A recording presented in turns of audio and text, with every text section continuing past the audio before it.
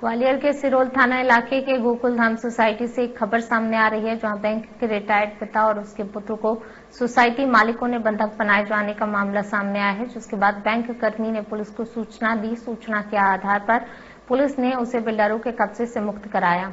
आपको बता दें कि अपहरण के दौरान ही रिटायर्ड बैंक कर्मी ने अपने मोबाइल से आरोपियों का वीडियो बनाकर वायरल किया था, ताकि पुलिस को अपहरण की सूचना पहुँच सके। वहीं ग्वालियर एसएसपी का कहना है कि इस पूरे मामले की जाँच की जा रही है। जाँच के बाद वैधानिक कार्रवाई की जाएगी।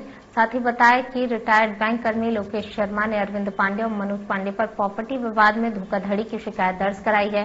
गत रोज जब लोकेश शर्मा अपने बेटे यश शर्मा के साथ गोकुल धाम सोसाइटी में अपनी प्रॉपर्टी चेक करने गए तो गाड़ी से लौटते समय उन्हें बंधक बनाते हुए सोसाइटी मालिक ने गार्ड के माध्यम से गेट बंद करा दिया। इस दौरान फरियादी बैंक कर्मी अपने मोबाइल से आरोपियों के लगातार वीडियो बनाकर वायरल करते रहे और मामले की सूचना पुलिस को भी दी। जिसके बाद मौके पर पहुँची पुलिस ने बैंक कर्मी और उनके बेटे को बिल्डर के कब्जे से मुक्त कराया। एसएसपी ने अब इस मामले में जाँच के बाद वैधानिक कार्रवाई की बात कही है।